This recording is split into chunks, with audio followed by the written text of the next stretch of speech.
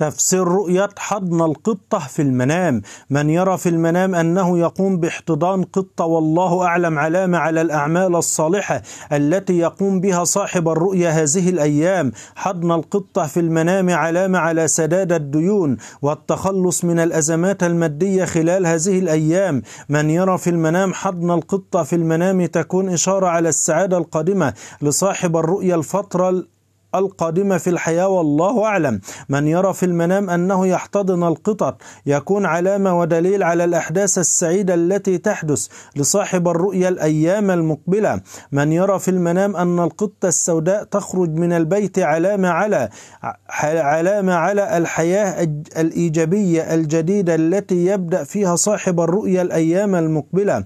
رؤية القط الأسود يخرج من البيت في المنام علامة وبشرى على انتهاء الأحداث الأحزان وبعض الهموم التي كانت تواجه صاحب الرؤيا الأيام الماضية.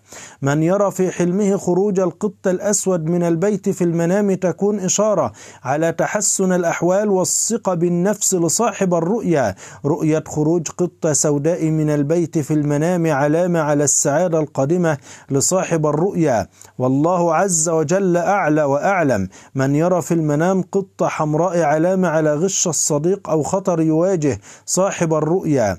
رؤية القط الأحمر في المنام علامة على خيانة يتعرض إليها صاحب الرؤيا الأيام المقبلة والله أعلم.